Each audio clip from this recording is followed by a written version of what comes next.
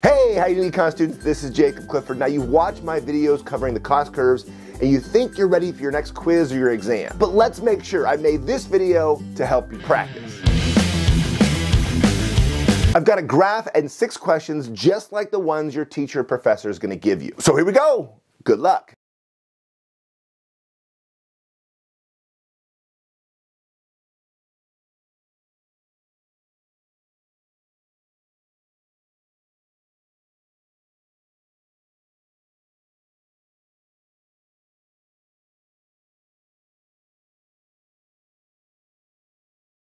Okay, how'd you do? Did you do well? Let's go over the answers. Remember, cost curves aren't that hard. You just need to practice until eventually you can see all those different boxes. Total cost, variable cost, fixed cost. It takes a little bit of time, but eventually you're gonna get it. For question number one, all you have to do is go up to the average total cost at eight units. So 23 times eight. That's $184 of total cost. And more importantly, you should be able to see the box it's right there. For number two, to find the total variable cost of four units, you go up to the average variable cost at four, 11 times 4 is $44. Question 3 is a little bit more tricky because you don't have an average fixed cost curve, but remember the vertical distance between the average total cost and the average variable cost is the average fixed cost. So $24 minus $12 gives you an average fixed cost of $12. You multiply that times 6 and that gives you a total fixed cost of 72. Again, the goal here is eventually start seeing the boxes. So at 6 units, there's a fixed cost, the variable cost, and the total cost. And that gives you the answer for question four. The total cost of six units is 24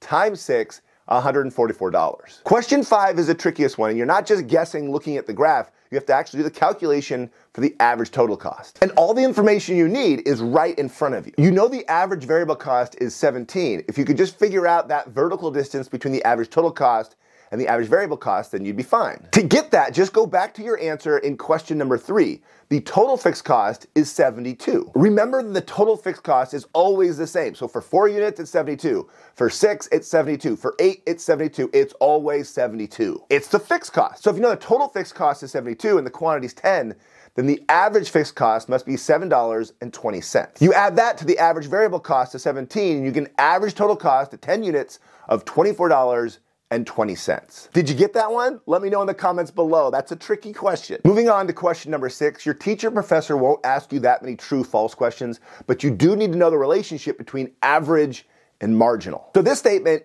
is false. This is wrong because the average total cost is falling as the marginal cost is increasing at this range here. What you have to remember is the average total cost is going to decrease when the marginal cost is below the average total cost and the average total cost is going to increase when the marginal cost is above the average total cost. And that means this point right here is the minimum ATC. And this relationship applies the average variable cost. The marginal cost hits the average variable cost at the minimum AVC. Just remember when the marginal is below, it pulls things down. When the marginal is above, it pulls things up. Okay, there you go. Let me know in the comments below how you did at a six and if these kind of videos are helping you. If you need more help, take a look at the practice sheets and the multiple choice questions inside my ultimate review pack. It's guaranteed the best way to help you with your next quiz, test, or your final exam. Thanks for watching. Till next time.